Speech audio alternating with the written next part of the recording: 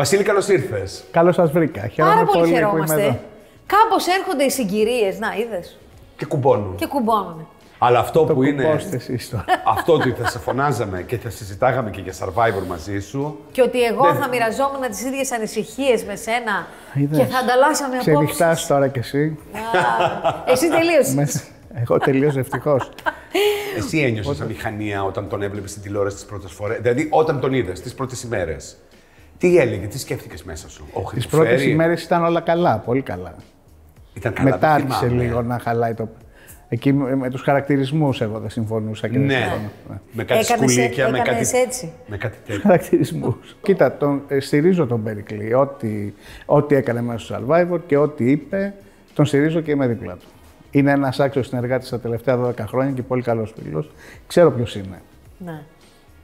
Ξέρω Ναι, ποιος φαντάζομαι ότι και, Ναι, ναι. και τώρα. θα Ξέρω ήθελα- ποιος είναι και ε, ότι έφυγε έτσι εν μέσω χειροκροτημάτων και με αγκαλιές με όλους τους συμπαίκτες του, αυτό λέει πάρα πολλά για, τη- για το χαρακτήρα του Περικλή. Μα ο, ο Περικλής, ό,τι έχει κάνει είναι σπουδαίο. Δηλαδή το ότι έχει φτιάξει κόσμο που το έχει διαλέξει η Lady Gaga για είχε να το το φορέσει. θάρρος, καταρχήν είχε το θάρρος να βάλει την κορώνα αυτή που είχε φτιάξει για ένα show μου και την είχε βάλει η Ροζάνα Γεωργίου πρώτη φορά πριν 10 χρόνια. Να το βάλει σε μια καπελιάρα και να το πάεις στη Μεγάλη Βρετανία και να το αφήσει για τη Lady Gaga. Αυτό λοιπόν δεν μας κάνει, δεν μας δίνει μια σουρεαλιστική κατάσταση όπου από τη μία αυτός ο άνθρωπος μιλάει με τη Lady Gaga, διαλέγει εκείνη μόνη της αυτό που φτιάχνει και ταυτόχρονα τσακώνεται σε ένα τηλεοπτικό παιχνίδι με ανθρώπους που Η δεν θα έκανε σουρεαλιστική παρέα έξω. κατάσταση Αυτό. είναι ότι τότε που έγινε αυτό με τη Lady Gaga δεν ασχολήθηκε κανείς. Ναι, σωστό. Να...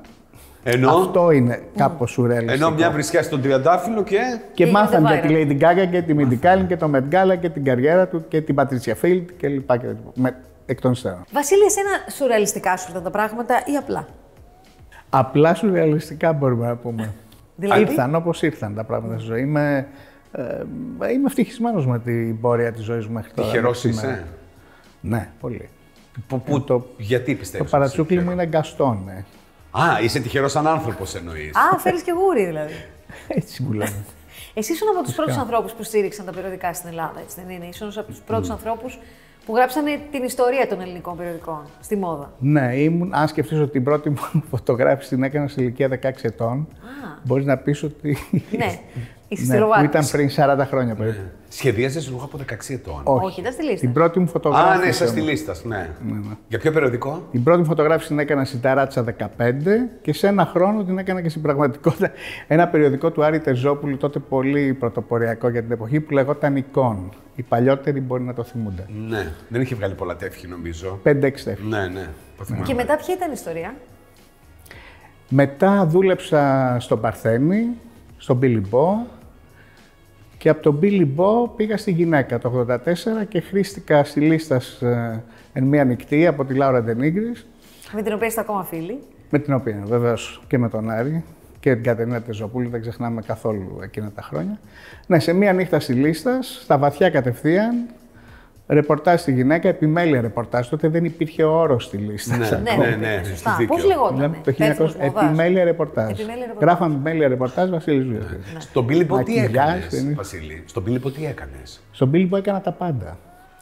Δούλευα, δούλευα στο κατάστημα που πουλούσα ρούχα, Ναι. δούλευα backstage στα show, έκανα τις φωτογραφίσεις. Τη χρυσή εποχή του Πίλιππο. Τη χρυσή, την πολύ χρυσή. Γιατί ήμουν εκεί από το 80 μέχρι το 84 και συνέχισα να δουλεύω μαζί του. Δηλαδή την τελευταία φωτογράφηση την κάναμε για το Αμερικανικό ΑΕΛ στη Βίλα Καζούλη, αλλά ήταν και Ναι. η εποχή, γιατί θα άνοιγε, ήταν για το Αμερικανικό ΑΕΛ και το interview, ήταν η εποχή που θα άνοιγε μπουτίκ στη Στη Νέα Μάδισον, Υόρκη, ναι. αλλά παράλληλα ήρθε και η αρρώστια, η ασθένεια, η οποία και τελείωσε πολύ, όλο αυτό πολύ γρήγορα. Ήσουνα- έζησες. ήσουνα- Ηρεμήθηκαν ναι, τα αυτό θα πάντα. έλεγα και εγώ. Το έζησε. Εσύ ήσουν μαζί τους τι Ναι, ναι, τελευταίες το μέρες. έζησα, βέβαια, ναι. Μέχρι το τέλος. Ε, το έζησα, ναι, από την αρχή μέχρι το τέλος. Ναι.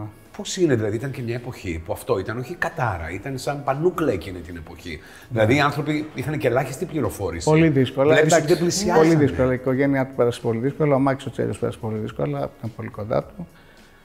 Ε, εγώ στεναχωρέθηκα πάρα πολύ γιατί ε, ήταν, ε, ήταν όνειρο να δουλεύεις με τον Billy Boy εκείνη την εποχή και να βλέπεις έναν άνθρωπο να εξαφανίζεται σιγά Να σιγά. λιώνει. Να λιώνει, ναι. Είχε έρθει πολύ κοντά στο Θεό στο, προς το τέλος. Σε άλλαξε αυτό, ήταν μια εμπειρία που σε επηρέασε και εσένα στη ζωή σου; Είναι κάτι που το θυμάμαι έντονα. Ε, Το να κάνεις μια δικιά σου σειρά ρούχων πια, ήθελε κάποιο θάρρος που δεν είχες νωρίτερα ή είχε οριμάσει η εποχή για σένα; Όπως τα λες ακριβώς. Κοίτα, ε, πολλές φορές το σύμπαν, ο Θεός, όλα αυτά διαλέγει για μας. Εμένα εκείνη την περίοδο μου τράβηξε, μου τράβηξε ας πούμε, ο Θεός το χαλί Α, και μου τα πήρε όλα. Η Μάρα Δεσίπρη μου ζήτησε να... ήταν παντρεμένη με τον Σταύρο Τζιούφα. ναι. Και ο Σταύρος ο Τζιούφας είχε αγοράσει τον οίκο του Μουριάδη. Και με κάλεσαν σαν project manager για το Μουριάδης να φτιάξω ένα κατάστημα ανδρικό ε, στο στυλ που ντυνόμουν. Και πήρα αυτό το ρίσκο, χαιρέτησα τη Μαρία Καλυμασιά, τη διευθύντριά μου στο Βότρο Ποτέ ένα πρωί, παρετήθηκα και το μεσημέρι... πώς Πήγες έλεγε, στην- σε- στην άλλη ακριβώς, δουλειά. Στην άλλη δουλειά. Ε, σε αυτό το χρόνο έμαθα τα πάντα που αφορούσαν το παπούτσι, το κατάστημα, πώς στείνεται ένα κατάστημα και όταν έφτιαξα και το χρυσό μη για να βάλω στο κατάστημα στην πλατεία Κολονακίου, ένα χρόνο μετά, δηλαδή είχε μείνει μόνο αυτό, το χερούλι της πόρτας, με φώναξε ο Σταύρος και μου λέει «Βασίλη, δυστυχώς, επτοχεύσαν, μου λέει. έπεσε έξω στο χρηματιστήριο και έκλεισαν τα πάντα». Το παράξενο είναι ότι εγώ κατέβηκα να χαιρετήσω τους ανθρώπους στο εργοστάσιο και μου, λένε, μου λέει κάποιος εκεί «Τι θα κάνεις τώρα» Μου λέω δεν ξέρω. Μου λέει συγγνώμη, αφού ένα χρόνο θέλεις να κάνεις γυναικεία παπούτσια και τρώγεσαι και δεν σε αφήνουν γιατί εδώ κάνεις αντρικά. Και σου λένε αργότερα, έχεις φτιάξει τα κουτιά. Έχεις... φτιάξει- Αντί να είναι Μουριάδης Old Athens, βάλε Βασίλη Ζούλιας Old Athens. Μου Τι λες τώρα, έτσι έγινε; Ακριβώς. Και ποιος ήταν αυτός που στο Άνοιξε είπε; μία λάμπα ε, στο κεφάλι μου. Αυτό που με ευχαριστεί είναι ότι ακόμη έχουν τα παπούτσια μου κάποιες γυναίκες και τα κρατάνε σαν κοιμήλια και τα φοράνε ακόμη. Ναι. Δηλαδή αυτό ότι είναι πολύ καλοφτιαγμένο. Και αυτό πότε έγινε επάγγελμα, επάγγελμα εννοώ; Το 2003. έγινε. Επάγγελμα να σε συντηρεί όμως και να συντηρήσει και εσύ άλλους ανθρώπους. Αυτό λέω, σε λίγο θα κλείσω 20 χρόνια που συντηρούμε και συντηρώ άλλους Ναι. ανθρώπους. Γι' αυτό ξυπνάω κάθε πρωί και λέω ευχαριστώ. Το πρώτο που λέω. Και με Ευχαριστεί που ευχαριστώ. ζεις. Ευχαριστώ, ναι, γενικότερα. υπάρχεις. Ναι, ναι, ναι, γενικότερα. Είσαι ένα ευχαριστώ. άνθρωπος που τα έχει, έχει μιλήσει δημόσια και για τα θέματα σου και για τους εθισμούς σου και για. Και για τους προσωπικούς σου δαίμονες. Ναι. Τα έχεις πει όλα αυτά. Και τα πες και νωρίς Ναι, νομίζω, κοίτα. Βασίλη. Τα είπα νωρίς. Έπρεπε να σπάσει κάποια. Πιστεύω ότι είναι λίγο καλύτερα τα πράγματα. Να σπάσει αυτό το ταμπού που υπάρχει με το αλκοόλ και τα ναρκωτικά. Πρέπει να βγαίνουμε και να σπάσει το σπυρί, το ταμπού. Ε, ο αλκοολισμός είναι εθισμός, ο εθισμός είναι μια ασθένεια. Απλά τα πράγματα. Δεν, δεν συμβαίνει τίποτε με κάποιον που πίνει. Σε ποια περίοδο είναι της απλά ζωής άρρωστος. σου, σε ποια περίοδο της ζωής σου συνέβη αυτό; Ε, Αν το κατάλαβες, γιατί αυτό μπαίνει και λίγο λίγο το στη ζωή 92. σου. Το 92 μπορείς να πεις ότι ήσουν Το 92 εθισμένος. σταμάτησα. Όχι. Το 92 σταμάτησα. Σταμάτησες να πίνεις το 92. Ναι. Από το 92 μετράς τις μέρες δηλαδή; Το 92. Είσαι, πολλο, είσαι πόσο; 28 Οκτωβρίου του 92. Σχεδόν 30 χρόνια. Ναι. Ε, Εντάξει, ναι, σε ένα χρόνο ακόμη. ναι, ναι. Κοίτα, ο μόνος τρόπος που μιλάω για αυτό, ο μόνος λόγος συγγνώμη, που μιλάω πάντα γι' αυτό ε, στα μίντια είναι γιατί μπορεί κάποιος να εμπνευστεί και να πει Ναι, φυσικά. αν το έκανε ο Βασίλης Ζούγιας μπορώ να το κάνω κι εγώ. Εσύ ποιο ήταν το γεγονός που είπες σήμερα σταματάω και ζητάω επαγγελματική βοήθεια. Ο συναισθηματικός πάτος. Συναισθηματικός; Ο συναισθηματικός πάτος. Γιατί εξακολουθούσα να κυκλοφορώ στο κολονάκι Μαν και τόκουμπα, να έχω τη δουλειά μου και να έχω λουλούδια στα βάζα στο σπίτι μου. Αλλά αισθανόσουν άδειος κενό. Αλλά ε, ο συναισθηματικός πάτος είναι ο πιο... Δηλαδή δεν είχα φτάσει στην ομόνια να, να σέρνομαι στα, στα πεζοδρόμια, γιατί Ναι. μπορούσε πολύ εύκολα να συμβεί και αυτό.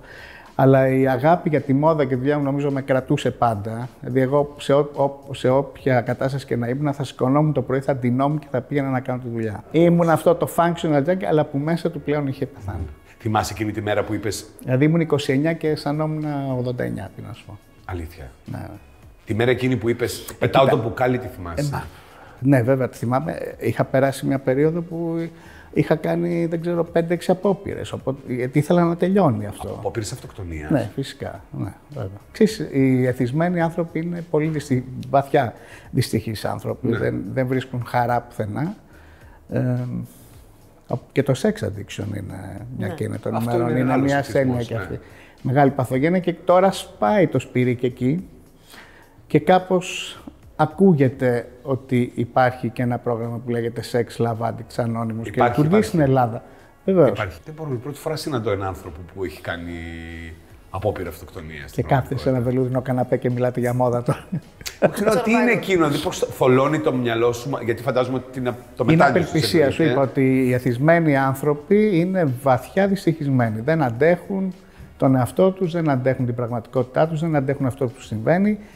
Πονάνε συνεχώς και στην ερώτηση γιατί πονάτε δεν υπάρχει απάντηση το γιατί πονάς. Γιατί πονάς. Νιώθεις ασφαλής τώρα; Είσαι σίγουρος που Ε, είναι βέβαια, αυτό; ναι, Έχουν περάσει ναι. 30 χρόνια. Κοίτα, η επιθυμία να κάνω χρήση μου έφυγε από, αμέσως από, το, Ναι. από την πρώτη μέρα που σχεδόν Πώς που παρακολούθησα αυτό το βοηθήθηκες, πράγμα. πώς το έλυσες; Πήγες σε Δουλεύοντας. κάποια ομάδα, δηλαδή Ναι, ποια ναι. ήταν η πρώτη σου Μία ομάδα κίνηση; 12 βημάτων που τότε στην Αθήνα υπήρχε μία και μοναδική. Σήμερα υπάρχουν ε, Η πάνω από αλφα-αλφα, 150, πάρα πολλοί, Ναι. υπάρχουν πάρα πάνω από 150 ομάδες την εβδομάδα. Βρισκόμαστε στο Zoom. Θυμάσαι πώς Είναι ξε- πάρα πώς πολύ άνοιξες την εύκολο πόρτα; σήμερα κάποιος να πατήσει Ναι. ένα κουμπί και να βρει την Ναι. βοήθεια. Γιατί παλιότερα έπρεπε να πας να σηκωθείς και από το σπίτι και να πας σε μία ομάδα. Τώρα πλέον μπορείς πατώντας ένα Θυμάσαι κουμπί. πώ άνοιξες την πόρτα; Δηλαδή άνοιξες την πόρτα και έκανες το βήμα; Ναι, πολύ καλά τη θυμάμαι. Θυμάμαι τι φορούσα, θυμάμαι Αλήθεια. που πήγα, τη διεύθυνση, όλα τα θυμάμαι. Τι ήταν η πρώτη μέρα της καινούργιας σου ζωής; Ναι, ναι. Άλλαξαν όλα. Ε, Σε- Άλλαξαν όλα σε μία στιγμή. Αλλά λίγο πριν μπω σε αυτό το πρόγραμμα, έψαχνα έναν τρόπο καινούριο να πεθάνω, γιατί δεν είχαν, βο- δεν είχαν Έψαχνες έναν τρόπο να πεθάνεις; ένα καινούριο. Γιατί είχαν δοκιμάσει όλα τα. Δηλαδή, ούτε το μπαλκόνι δούλεψε, ούτε τίποτα. Ο Θεός θέλει να ζήσει. Τελείωσε. Είχε άλλο πλάνο. Το λες και, Και εσύ γελάς, θα αλλά ήθε- είναι... Και εσύ ήθελες να Ε, ζήσεις. γελάω τώρα γιατί ε, ξέρεις, Ναι. μπορώ και γελάω. Ναι. Θα σας πω κάτι για εκείνη την ημέρα. Δεν το έχω πει σε, σε κανέναν. Ε, η πρώτη κουβέντα στην, ε, στη μητέρα μου ήταν το παλτό το μάζεψες. Γιατί είχα ένα πολύ ακριβό παλτό μαζί μου εκείνη την ημέρα. Οπότε καταλαβαίνεις, Ναι. αφού ζούσα έπρεπε να έχω το παλτό. Και από αυτή την έκφραση η Ρέα Βιτάλη την πήρε και έβγα- έγραψε ένα βιβλίο για τη ζωή μου. Συγγραφέας, που Λέγεται η το Ρέα παλτό Βιτάλη. μου μαμά. Ναι. Και έχει βάλει όλη την πορεία της ζωής μου από τη γέννησή μου μέχρι ε, που μπήκα στην ανάρρωση. Τότε όταν έκανες εσύ το 92, όταν πήγες για πρώτη φορά, ήταν και λίγο ταμπού να λες έξω ότι εγώ είμαι πρώην Μεγάλο ταμπού. αλκοολικός. Κοίτα, ήταν ταμπού, ας πούμε το 88 ήταν πιο ταμπού, γιατί εγώ πιάστηκα σαν χρήστης και τον χρήστη τότε τον έβαλαν στον κορυδάλο. Έτσι έφυγα εγώ στο κενό. Και ο, ο εισαγγελέα. πήγες φυλακή. Πήγαινα, οδηγήθηκα στη φυλακή. Ο εισαγγελέας προς τιμήν του ήρθε στο νοσοκομείο που κρατούμουν στο νοσοκομείο και μου ζήτησε συγγνώμη. Είπε συγγνώμη, παιδί μου, για αυτό που σου έκανα.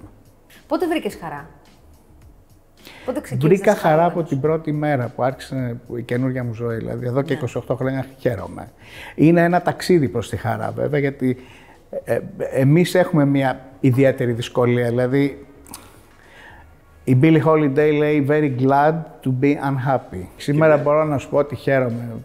Ε, χαίρομαι. Κάνω και τρελά πράγματα από χαρά μόνος μου. Δηλαδή, Δηλαδή; Χορεύω μόνος μου, γελ- γελάω μόνος μου, κάνω τρελά πράγματα μόνος μου. Με τον Περικλή, πότε γνωριστήκατε; Πόσα χρόνια δουλεύετε μαζί; Γνωριστήκαμε νομίζω το ε, ε, 12 χρόνια, 12 χρόνια, το 9. Και ξεκινήσατε να δουλεύετε μαζί από την πρώτη Ναι, ναι, στιγμή; μου έδειξε το book του και ε, δουλέψαμε για, για μια κολεξιόν κατευθείαν.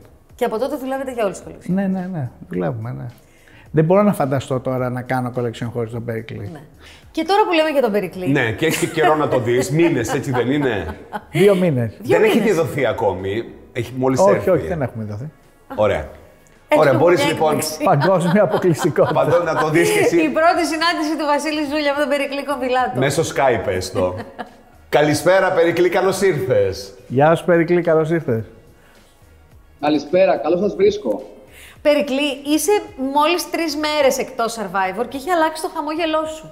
Είναι απίστευτο του, το πώς μπορείς να αλλάξεις ε, έχοντας κάνει κάποια πολύ βασικά, αλλά όχι δεδομένα τελικά πράγματα. Όπως το να έχεις κάνει μπάνιο με ζεστό νερό και σαπούνι, αλλάζεις πάρα πολύ, γιατί αυτά είναι πολύ σπουδαία πράγματα.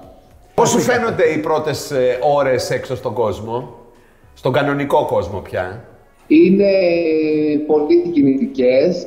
Ο κόσμος που έχω μιλήσει μέχρι τώρα, τα παιδιά της παραγωγής στον Άγιο Δομήνικο και ε, εδώ στο σπίτι Ε, μπορεί, δεν ξέρω πώς φαίνεται ότι έχω στενοχωρηθεί που έχω φύγει, αλλά είναι, υπάρχει μια συγκίνηση για τα απλά πράγματα που, που ζούμε, αλλά δεν είναι.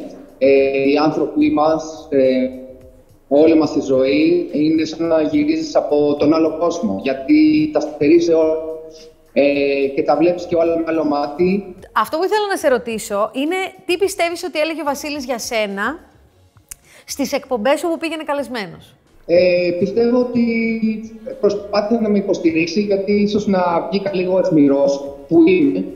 Ε, αλλά ο Βασίλης ξέρει, ε, ξέρει ότι αυτός είναι ένας τρόπος που επικοινωνώ και ότι ε, ε, είμαι και πολύ γλυκός ταυτόχρονα και πολύ ε, συμπονετικός και πιστεύω ότι μπορεί, μπορεί να μιλήσει για την νεολότητα αυτού που είμαι καλύτερα από κάποιους άλλους ανθρώπους και να, όχι να με υποστηρίξει, γιατί δεν χρήζω υποστήριξης, αλλά να πει την πιο ουσιαστική εικόνα. Βασίλη, ε, Τώρα είναι reality αυτό, τώρα έτυχε. Τα έφερε η ζωή έτσι. Αλλά αν θέλεις να του πεις κάτι του Περικλή, μπορείς. Ναι. Μην το μονοπολούμε. Ο Περικλής ξέρει ότι τον στηρίζω πάντα, όπως με στηρίζει και αυτός στηρίζουμε ένας τον άλλον και αυτό τα λέει όλα.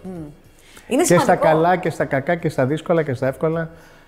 Πιστεύεις ότι το Survivor του έκανε καλό του Περικλή; Όλα κάνουν καλό. Mm. Είμαι αυτής της άποψης. Περικλή, εσύ τι λες, σου έκανε καλό; Εγώ πιστεύω ότι έκανε καλό στο Βασίλη, γιατί είμαι τόσο απαιτητικός στο θέμα του φαγητού που τώρα τον, ε, πώς το λένε, τρομάζω όταν δεν έχει φαγητό στην ώρα του ή όταν δεν είναι σωστά τα φαγητά, τα ψημένα τα φαγητάκια αυτά, είναι πιο απαιτητικός. Ε, πιστεύω ότι ναι. Αυτό μας έλεγε ότι έτρωγες πέντε γέμματα την ημέρα με την πρωτενη, τα μπιφτέκια, τα σφράδια αυγών. Πια οι απαιτήσεις έχουν μειωθεί; Στη δουλειά έρχονταν με τα τάπερ. Με τα ταπεράκια. το, το ήξερε όλη η εταιρεία. Το φαγητό του Περικλή. Ναι. Και την ώρα συγκεκριμένη. Έχει τραβήξει πάρα πολλά με το θέμα του φαγητού μου και νομίζω ότι τώρα θα με βρει πιο ε, ήρεμο και δεν θα είναι τόσο ναι, αυστηρό. Ναι, έλεγα γαλακτομπούρεκο Ναι, η, η αλήθεια είναι ότι... Αν με έβλεπες, θα με θαύμαζε. Έφαγα παστίτσιο που δεν είχα φάει τα τελευταία 10 χρόνια. Έφαγα γαλακτομπούρικο που τα έκανε πολύ ωραία η Αντωνία εδώ. Ε, αν με δεις, θα πάω τη σοκ. Αυτά που φοράς είναι δικά σου κοσμήματα, να υποθέσω, έτσι δεν είναι; Ναι, είναι πολύ όμορφο. Σου λείψαν τα πράγματά σου, αυτό ρε παιδί μου, τα ναι, πράγματά ναι. μου. Το, το παντελόνι μου, μπλούζα μου. Μου έλειψαν πάρα πολύ. Ε, θέλω να πω ότι ε, βρέθηκα να μην έχω τίποτα δικό μου. Είναι τεράστια εμπειρία αυτή του να μην έχεις τίποτα δικό σου ε, έχεις μόνο το μπλουζάκι που φοράς και τα παπούτσια που φοράς, τα οποία και αυτά σιγά σιγά μες στο παιχνίδι καταστρεφόντουσαν. Εγώ τα έχω φέρει πίσω τα δικά μου, είναι όλα καμένα παντελώς. Ε, μπαίνανε νερά, ήταν κείμενα παντού. Ακόμα και τα κείμενα που είχα, αυτά τα λίγα, τα τρία, τα παπούτσια μου και το μπλουζάκι μου, ήταν ε, σε τραγική κατάσταση. Σε ευχαριστούμε, Περικλή. Θα τα πούμε από κοντά όταν με το καλό βγει από την καραντίνα. Καλή καραντίνα. Βασίλη, πώς σου φάνηκε, ίδιος, όπως πριν μπει; Μόνο ότι άφησε το κινητό του, ο Περικλής που ζούσε με το κινητό 100 πώ την ημέρα, του λέγαμε όλοι δεν χρειάζεται. Πέντε πώ το Instagram φτάνει. Αλήθεια. Θα αλλάξει η ζωή του. Είδες το, αναθεωρείς πολλά πράγματα μετά από τέτοια γεγονότα τέτοια Είναι δοκιμασία, ναι. Είναι μια δοκιμασία, δοκιμασία ζωής. Σε ευχαριστούμε, πάρα πολύ. Καλή συνέχεια. Εμείς πάμε τώρα σε κάποιον ο οποίος δεν φεύγουμε πολύ μακριά από το χώρο ναι, του ναι, Βασίλη. μπορεί να το γνωρίζει κιόλας. Παραμένουμε στον χώρο της μόδας και συναντάμε τον Δημήτρη Δημητρούλη, ο οποίος ήρθε στο μπουντουάρ του Εννοείται. Θρύλος και Κορυφαίος είναι. Θρύλος στη δουλειά μας. Έχουμε δουλέψει πολύ. Ε, βέβαια. Ο Δημήτρης λοιπόν μας λέει για όλες τις διάσημες πελάτησές του και μας λέει και τα μυστικά, τα beauty secrets τους. Ε; Τέλεια. Πολύ σημαντικό. Δεν υπάρχει πιο κατάλληλος. Σε ευχαριστούμε πάρα πολύ. Να είστε καλά.